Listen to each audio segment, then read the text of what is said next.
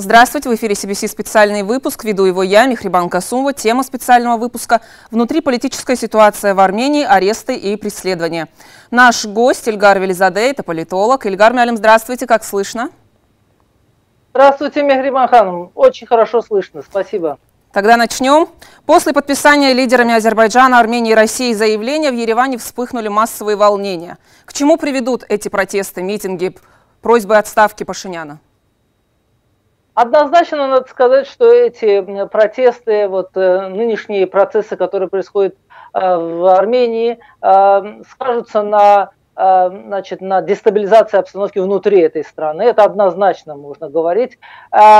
Сегодня, конечно, значительная часть прогнозов сводится к тому, что Пашинян подаст в отставку или вынужден будет уйти в отставку, либо же э, самый такой крайний вариант, он может убежать просто из страны, не подав в отставку официально. Вот такие варианты циркулируют, но в любом случае э, мы видим, как, чего добиваются протестующие, они этого и добиваются по большому счету, и протестные настроения нарастают, волна протестов нарастает, а руководство Армении не Э, дает адекватный ответ э, вот, э, значит, требованиям протестующих. Ну, Пашинян выступает через социальные сети и так далее. Ну, это скорее больше раздражает общественность, чем, скажем, позволяет находить ответы на вот вопросы, которые они ставят. Но в любом случае, вы знаете, что просматривается, очевидно, совершенно очевидно просматривается, это то, что Э, Пашинян э, значит, прибегает к репрессиям, очень серьезным репрессиям против оппозиционных сил. Э, лидеры оппозиционных партий значит, заключаются под стражу, против них проводятся массовые репрессии.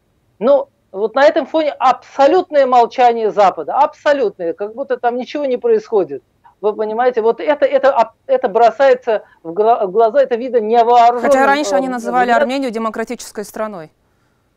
Да, они называли демократической страной, а сегодня демонстранты говорят, что э, во, во главе страны, страны стоит не демократический лидер, и э, никакой реакции. Более того, один из сопредседателей Минской группы ОБСЕ, Франция, э, выступая в защиту Армении, фактически не видит этого положения. В другой, э, другое время, в, скажем, по отношению к другим странам, делались бы, мы видели, из, из того же Парижа звучали достаточно громкие заявления э, о нарушении прав человека и всего такого прочего. Ничего не видят, ничего не замечают.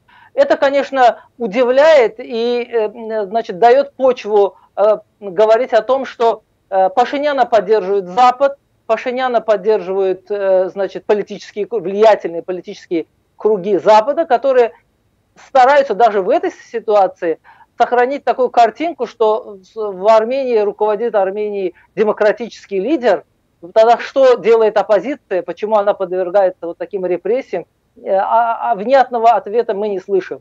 Вот такая картина. А почему молчит Запад? Почему поддерживает Пашиняна? Это, на ваш взгляд, влияние армянского лобби? Э, это и влияние армянского лобби, и понимание того, что за протестующими группами в э, Армении стоят силы, э, связанные с российской армянской диаспорой. Они боятся, что э, к власти придут, э, скажем, опять вот, значит, произойдет реванш, и к власти придут те, кто выступает за сближение с Россией, оч, а, ну, очевидно требует сближения с Россией, и поэтому вот за неимением другого кадра, что называется, других рычагов, они поддерживают э, Пашиняна. Конечно, тут есть и роль и армянской диаспоры, которая также э, значит, пытается представить ситуацию таким образом, что если уйдет Пашинян, то придет представители э, тех кругов, которые смыкаются на интересах с Россией, и таким образом Запад повли- потеряет свое влияние в Армении. Вот такие, такие настроения пытаются э, поддерживать э, политические круги э, на Западе, вот а представители армянской диаспоры на Западе. Ну, видимо, пока это как-то э, влияет на отношение Запада к происходящему. По крайней мере, мы, мы наблюдаем очевидно факты. Это Запад молчит, абсолютно не реагирует. Э, и э, это дает основание самому Пашиняну надеяться, что э, вот в этой ситуации Запад его поддержит. Ильгар Мярим, на ваш взгляд, Пашинян же должен был ожидать такой ход событий, что вот будут митинги после того, как все станет известно, вот после подписанного заявления. Какой сценарий он рассчитывал же? Да, слушаю. Да, я понимаю вас, ваш вопрос, Мехрибан. Дело в том, что э, с дальновидностью Пашиняна есть серьезные проблемы. Если он должен был предвидеть концептуально эту ситуацию, он должен был предвидеть то, что э, он проиграет эту войну, эта война заведомо проигрыш. Все об этом говорили, все специалисты об этом говорили, но он этого не слышал. Э, и, э, естественно, ожидать от политика, который не понимает реалии, э, не понимал он их тогда, он скорее всего, не понимает и сейчас. Кстати говоря, вот совершенно недавно министр иностранных дел Лавров заявил, прямо заявил о том, что армянские власти должны были объяснить своему народу на протяжении последних да, лет. Да, накануне он мере, заявил на брифинге. Они, да, да, они должны были объяснить своему народу, что они должны сдать эти Э, передать их Азербайджан, потому что это азербайджанские территории. Но они этого не сделали. То есть я так понимаю, что в переговорном процессе ему объясняли и, э, э, значит, как минимум российская сторона объясняла Пашиняну, что ну, тут другого выбора нет. Но он этого не сделал, он отложил вот этот самый момент до Э, значит, полного поражения. Теперь он вынужден признаваться. Причем в какой форме он это делает? Посмотрите, он говорит, что меня армия попросила. То есть э, человек абсолютно не контролирует ситуацию. То есть э, не он делает как бы конечные выводы и принимает решения, а он это делает только потому, что его кто-то об этом просит. Это просто нонсенс. Главнокомандующий армии, фактически руководитель страны, ждет, пока к нему кто-то обратится. Это, это не улица, это не парламент, это военное положение, тем более они сами объявили военное положение. Он должен предпринимать э, действия сообразно со складывающимися обстоятельствами. Он этого не сделал, теперь он перекладывает вину на других. И, и э, вот в этой ситуации э, он пытается представить ситуацию таким образом, что это не он виноват, а все виноваты, он как бы подстраивается под эту ситуацию. Ну, это абсолютно нелогичная э, Вот армянский народ пытается сорвать достигнутое, вот скажем, подписанное это заявление, его пункты. Они хотят аннулировать. Насколько это реалистично? И э, насколько это, например, Россия позволит ли этому случиться? Там стоит и подпись президента Владимира Путина. Вы знаете, Мехрибан, я думаю, что они, они пребывали вот в этой э, виртуальной реальности, в какой-то такой абстра... придуманной ими реальностью, настолько они в эту реальность погружены были, да, сейчас они как-то пытаются из этого выходить, и при этом они не видят очевидных вещей, они продолжают не видеть очевидных вещей. Вот эти требования, они, конечно, противоречат э, взятым э, Армении на себя обязательствам, и кроме того, значит, эм, э, фактически э, таким образом протестующие, как бы, ну, где-то мы понимаем, что они э, все-таки какую-то надежду, у них надежда есть на помощь из России, фактически противопоставляют себя российской позиции. Вот, вот такая непонятная ситуация.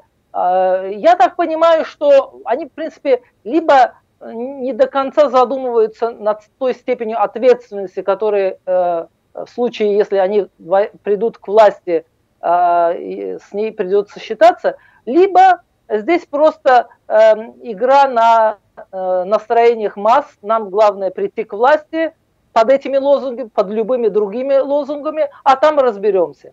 Но и так или иначе, ни власти, ни оппозиции изменить реальную ситуацию не удастся. Э, они э, фактически, вот такая ситуация складывается, они обманывают самих себя, они хотят перехитрить самих себя. Но при этом это все происходит внутри Армении, это внутриполитический э, дискурс в Армении, который показывает, что когда долго не говоришь э, правду, когда постоянно ее скрываешь, ложь становится, э, скажем так, повседневностью. И вот из этой лжи, лживых представлений уже сложно выкарабкаться самим им. Мы видим, как действуют э, демонстранты, о чем они говорят, а, какие э, значит, эмоции они испытывают, э, я рационального объяснения этим эмоциям не нахожу. Я думаю, что и серьезные там аналитики, эксперты понимают, что Это просто эмоции, дальше ничего нет. Ильгар Мярин, вот подписанное заявление сейчас вызывает ряд вопросов, и все потому, что армянская сторона, в том числе премьер-министр Армении Никол Пашинян, дезинформирует армянское общество. Речь идет о статусе Нагорного Карабаха. Внесем ясность, больше никакого статуса нет, и не обсуждается этот вопрос. Э, совершенно верно. Совершенно верно. И, и вот я э, к продолжению нашего разговора, ну вот это вот самый э, обман, из него трудно выйти. Они сами себя по-прежнему обманывают, продолжают обманывать народ. А что они потом будут говорить, когда им объяснят, что никакого статуса нет? То, что, то о чем вы думали, грезили все эти годы, этого всего нет. Есть другая реальность. Она, значит, сегодня формируется Э, на основе соглашения, которое было достигнуто. И э, эта реальность э, такова, что ее нужно признать. Просто это, это тот, кто не признает эту реальность, тот имеет дело уже с российскими миротворцами. Вы посмотрите, Мехрибан, какая ситуация была. А, было очевидно совершенно, что нужно будет освобождать Э, оккупированной территории. В частности, э, вот что происходит сейчас в Кальбаджарском районе. Ведь знали, что нужно будет освобождать. Надо было объяснить людям, что вы должны отсюда уехать, создать им какие-то условия, чтобы они как бы э, не в последний час принимали решение. А что говорили им их власти, что говорили сепаратисты? Не уходите, оставайтесь, Э, еще все может измениться. Пришли российские миротворцы, они вынуждены убегать а, и в ожесточении сжигать свои дома. Вот эта ложь играет против них. Неправда, ложь. Э, это, э, значит, придуманная реальность, а, к сожалению, к сожалению, Э, значит, скажем так, сыграл с ними злую шутку. Посмотрите, последнее заявление вот этого Арцурна Аванесяна, который постоянно ну, был глашатым да, Министерства да, обороны. Да. мне говорили, что мне говорили, то я и говорил. Ну, уже как, как можно, как еще более, скажем так, рельефно можно показать э, вот эту охарактеризовать эту ситуацию. Вы понимаете, не верьте, это уже нужно обратиться, наверное, к, власти, к народу, общество должно сделать выводы, что верить таким властям, которые все время врали, врали, и сейчас врут, нельзя. Про статус они врут, про э, переселение они врали, про то, что не, нужно, не будут они возвращать эти территории, они врали. И, это вранье просто э, значит, не имеет ни Э, начало мы знали, откуда это, ну, конца оно не имеет. Ну, наверное, им придется объяснять уже, видимо, другим путем, как это сейчас делают, наверное, российские миротворцы, находясь на, исполняя те соглашения, о которых э, подписал того же самого Пашиняна. Ильгар Малим, еще один такой интересный момент. Вот я сегодня читала, что президент Армении после встречи с премьер-министром обозначил новые задачи для армянского общества. По его словам, итоги войны в Карабахе должны вынудить Армению стать лучше, современнее и сильнее. Причем сделал он такое заявление на встрече с деятелями культуры, науки, спорта. Видимо, именно они будут теперь вооружать армянскую армию. Интересно, зачем он именно их собрал. Э, по-вашему, вот он говорит, что сейчас нужно наращивать экономику Армении, вооружать армию. Мы знаем, что у них вооружение устаревшее. Это подготовка к новой войне? Я не знаю, как они будут собираться достигать этих целей. Э, для Сколько того, лет чтобы уйдет? Армения стала... Да дело в том, что это нереально в таких условиях. Для того, чтобы Армения стала сильным государством, она должна восстановить нормальные отношения с соседями. Когда у страны 80% границ э, фактически на замке, закрытые. Когда они говорят, что мы будем отказываться от турецких товаров, причем турецкие товары это турецкий рынок самый главный, основной рынок в этом регионе. А как они, как они, себя, как они себе видят э, значит, э, расцвет их экономики? Очень непонятная ситуация. Э, потом посмотрите, значит, вот есть пример Грузии. Да? Грузия активно взаимодействует и с Азербайджаном, и с, и с Турцией. И, и через Грузию сегодня проложены основные коммуникации региональные, э, очень э, крупные проекты. Э, Грузия выступает бенефициаром этих проектов, и у нас, слава богу, большие перспективы. И в данном случае этот пример мог бы быть примером и для Армении. Но Армения не хочет пользоваться этим примером, до сих пор не хочет. Абсурдно требовать отказа от значит, турецких которые качественнее, которые дешевле, потому что логистика это все рядом, и от, как бы находиться в этом регионе и не принимать экономические, геоэкономические реалии этого региона, это все равно, что обрекать себя на э, полную изоляцию. А что им 30 лет мешало превратиться в такое развитое общество или же экономически состоятельное государство? Что им мешало? Так, те же власти, та же страна, те же закрытые границы. Что изменится после этого? Э, измениться должно, должна психология должна измениться, должно измениться отношение, уже российская сторона, уже э, партнер, э, значит, союзник Армении говорит, меняйтесь, меняйтесь, потому что, посмотрите, надо делать ведь, извлекать выгоды, значит, уроки из этой ситуации. Россия извлекает выгоды от сотрудничества с Азербайджаном, с Грузией, с, с Турцией. Вы посмотрите, какой а, товарооборот с Турцией почти 25 миллиардов долларов в год, Азербайджан больше 3 миллиардов долларов в год. Крупные проекты здесь реализуются, еще будут реализовываться. Э, Север-Юг, целый ряд других проектов. Армения остается в стороне от этих проектов. Ну, если Армения хочет э, быть, скажем так, получить какие-то выгоды от вот этой синергии, которая сегодня э, в новых условиях в нашем регионе формируется, пусть пересмотрит свое поведение, пусть изменит свое отношение. Ну, так, с таким подходом далеко не уедешь. Поменяется власть, не поменяется. Реалии это нельзя поменять. Вот. Спасибо большое, спасибо за столь интересные и содержательные ответы. Вам спасибо. Напоминаю, в эфире CBC был специальный выпуск. Гость специального выпуска Эльгар Велизаде. Мы обсуждали внутри политическую ситуацию в Республике Армения. Оставайтесь на CBC до встречи.